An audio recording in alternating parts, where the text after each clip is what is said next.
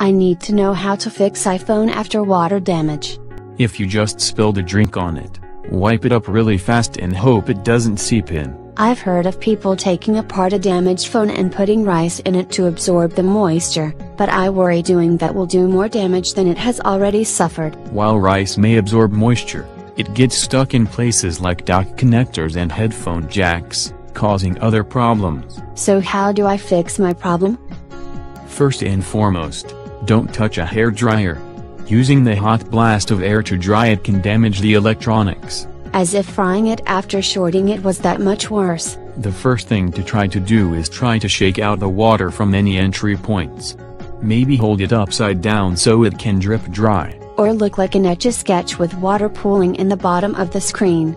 Would connecting it to a charger help it warm up and dry out? Don't put it on a charger or you'll risk shorting things out due to the high humidity. In fact, many places that repair water-damaged iPhones replace the battery because it is probably damaged by the water. Pity I can't take the battery out myself to let things dry out, since Apple makes that hard.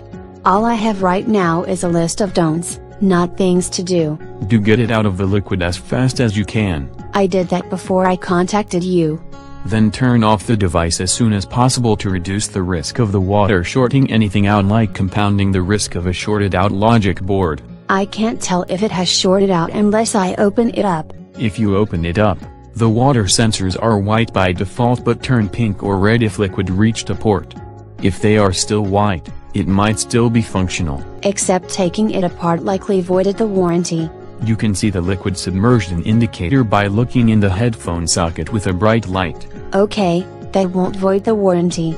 If that's pink, Apple won't repair it but will replace it if you've paid for that level of service or just pay for it out of pocket. Then any advice on what I can do to fix it saves me another fortune. After you've dried it off and shaken the liquid out, you can use silica gel packs. Put them in a plastic bag with the iPhone. Put them all in a dry place for 3 days and hope the gel sucks the moisture out of the phone. Living 3 days without a phone is torture for adults, which is why taking it away is a major punishment for a teen. You can take the SIM card out of the phone while trying to dry the iPhone out and put it in a temporary phone, while hoping the silica gel dries it out. Then what?